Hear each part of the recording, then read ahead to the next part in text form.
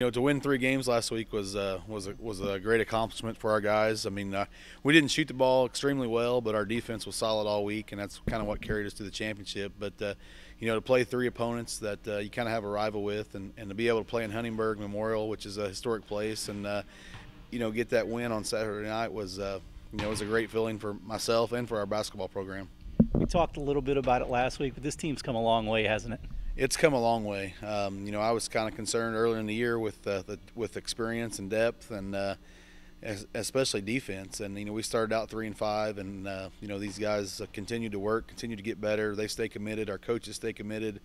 Watched a ton of film, and uh, you know, I think it all boils down to is uh, is toughness. And we started communicating on the defensive end, which really helped us. And uh, you know, we've been the last you know six to eight weeks of the season, we've been really good on the defensive end.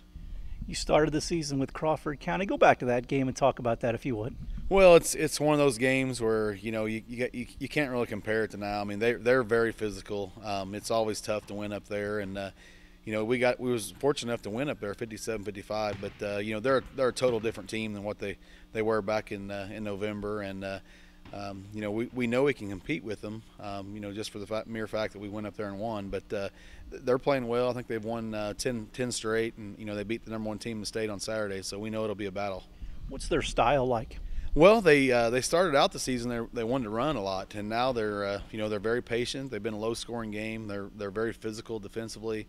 Um, two things that I noticed they're very good at is uh, getting the ball out in transition and uh, crashing the offensive glass. I know in the Paoli game, I think probably 80% of their points was offensive rebounds and transition. What are going to be the keys for you guys to have a successful game, Jeff? Well, I think we're going to have to show up and we're going to have to match their physicality. Um, we're going to have to handle environment, which uh, you know we should shouldn't be an issue. You know, playing last week in, in, front of that crowd at Huntingburg. So I think you know a couple things. We got to stop stop them in transition, and, and we got to check out as a team. And uh, you know our defense has got to travel with us.